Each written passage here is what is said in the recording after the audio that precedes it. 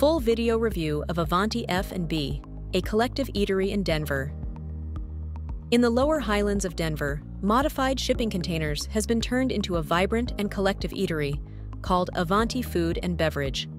Set over several levels, here you find indoor dining room and outside patio. But best of all, a spacious rooftop with both open air and covered sections. Inspired by European markets and food truck roundups, here you can eat your way through seven different restaurant concepts. From Meta Asian Kitchen and Knockabout Burgers to Gorlami Pizza